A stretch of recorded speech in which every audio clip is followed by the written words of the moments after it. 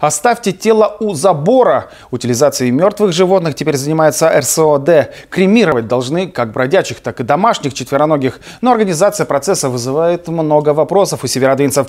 Как предприятие справляется с муниципальным заказом, выясняла Алена Губаева.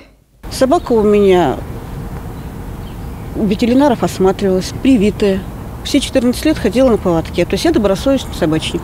И мне бы хотелось, чтобы грамотно было утилизировано мое животное.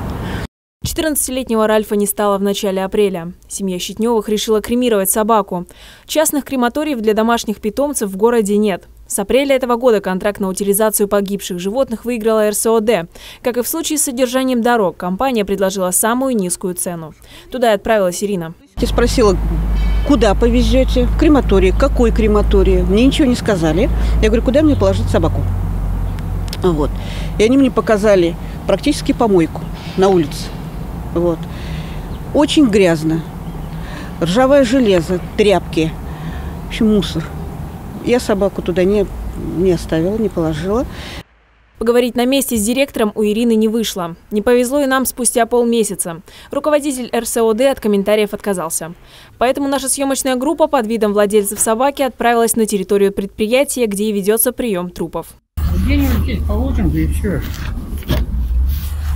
Вам на бумагу это, сейчас заполнить. Бумага-то и надо, а, а что тут не, не предусмотрено ничего, как, как вот как сюда вот положить так? Прям сюда? Да? Ну вот, на доске. А не в мешке у вас? В простыне. Ну, в простыне положить.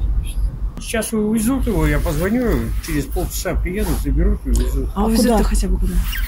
А? Куда? Я не знаю, куда они увозят. А вот тем не менее, горы трупов животных или других уничтожаемых отходов мы не нашли. Но на помещение, соответствующее санитарным требованиям, этот закуток под забором тоже не похож. Официально на производство нас не пустили, но, как следует из муниципального контракта, без согласования и не должны были. Право посещать объект в любое время есть только у заказчика, то есть у Комитета ЖКХ, транспорта и связи. В телефонном разговоре представитель РСОД подтвердил, мужчина, что встретил нас на вахте, проинструктирован не был. Впредь будет учтивее. А помещение приемки действительно не готово, не успели с начала месяца, но доработают.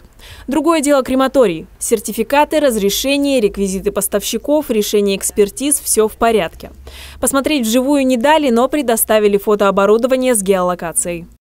Из муниципального контракта в течение расчетного периода заказчик с участием представителей исполнителя осуществляет согласованное сторонами время промежуточные проверки на предмет соответствия хода и качества выполняемых работ условиям настоящего контракта, техническому заданию, а также требованиям нормативных правовых актов, стандартов, правил и норм, указанных в приложении номер один к настоящему контракту.